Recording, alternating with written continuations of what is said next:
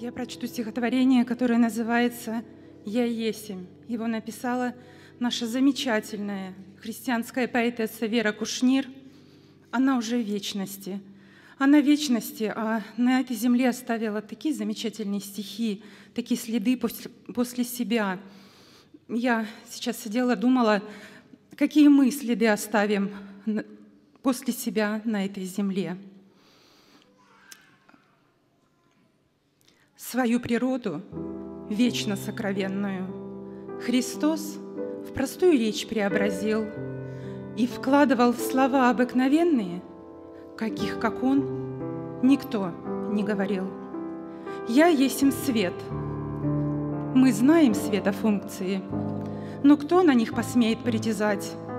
Был Магомед, был Будда и Конфуций был.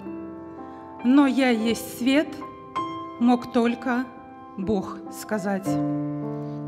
Я есть им жизнь. Три слова всем знакомые, понятные, кому их не скажи. Но жизнь — загадка есть, со сложными законами. Христос — отгадка ей, Он сам есть жизнь. Я есть им путь. Каких путей запутанных не исходили мы, ища в чем суть, где смысл жизни вуалью тайно кутанный, Христос дает ответ. Он сам есть путь. Свершилось. Слово вроде обиходное.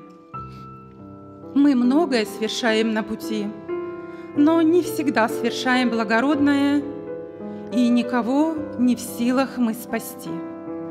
А со креста Христом произнесенное, оно дает спасение грешным тем, чье сердце пожелало быть спасенным.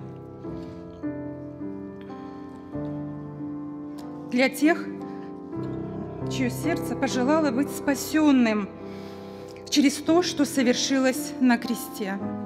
Враг шепчет нам, подумаешь, спасение, умрешь, зароют, и конец мечтам. Христос сказал, «Я – жизнь и воскресение.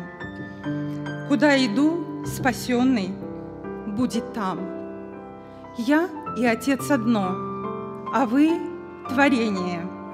Простые и короткие слова, их глубины бездонное значение вместить не может наша голова. «Я есть им сущий». Это громко сказано «Не был, не буду, а вовеки есть». И только тот, кто хочет быть наказанным, дерзает отвергать благую весть. Свою природу, вечно сокровенную,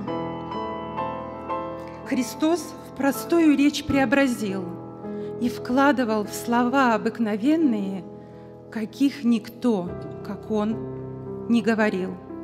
Аминь.